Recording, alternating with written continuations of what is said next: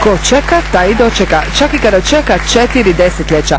Obožavatelje ljubavnih romana došli su na svoje. U Hrvatsku je prvi put stigla neprikosnovena kraljica ljubavnih romana Susan Elizabeth Phillips. Osim ljubavnim zapletima, obožavatelje je oduševila svojom spontanošću i neposrednošću. I prije dolaska u Hrvatskoj je već podosta čula.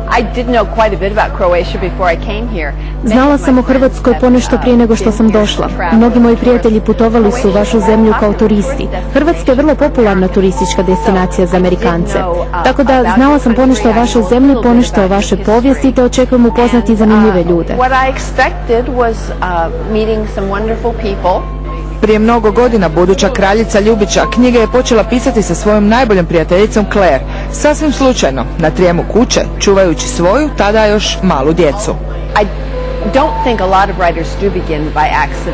Pa ne vjerujem da mnogi počinju pisati slučajno. Pisci su uvijek željeli napisati knjigu. Ja sam od uvijek bila čitač i htjela sam napisati knjigu koju bih i sama poželjela pročitati. Počela sam pisati kada sam bila kući sa malom djecom. Tek tako, iz zabave. Nikad nisam razmišljala da bi se knjiga trebala objaviti. Ako tako gledamo, onda sam svakako počela pisati slučajno.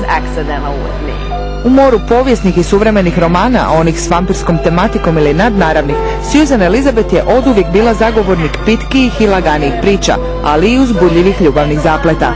My books are for readers moje su knjige za publiku koja želi čitati zaista odličnu ljubavnu priču. Mislim da je život prekratak da čitamo depresivne knjige. Oni žele pročitati priču sa sretnim završetkom, ali i nešto više od heroja i junakinje. Žele čitati o ženskim prijateljstvima, o obitelji, o zajednici. I to su sve elementi koje imam u knjizi.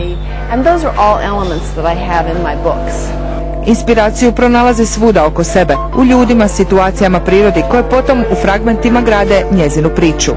I find the emotions Emocije u mojim knjigama su ljudske emocije. Nekad imam osjećaj da u najmanje simpatične likove stavljam mnogo svojih loših osobina, ali nije da odjedanput imam inspiraciju za cijelu knjigu. Uvijek je to tek poneka ideja za lik ili situaciju i kada počnem pisati ne znam kako će ići radnja. Proces pisanja za mene je proces otkrivanja, kakva će priča biti u kojem smjeru će likovi ići. Uz mnoge književne nagrade Susan Elizabeth 2006. dobila je i prestižno priznanje za životno djelo. U posljednjih desetak godina napisala je 19 romana koji su prevedeni na hrvatski jezik. Vjerni obožavatelji imaju ih sve.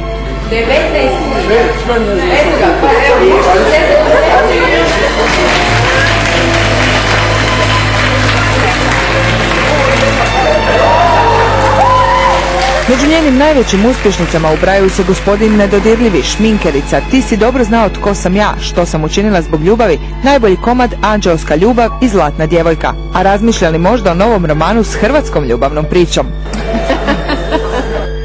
Pričekajmo još koji mjesec, možda nešto s hrvatskom pričom i osvane na američkim policama. Za sada njezine uspješnice s američkim zapletima možete čitati u nakladi 24 sata.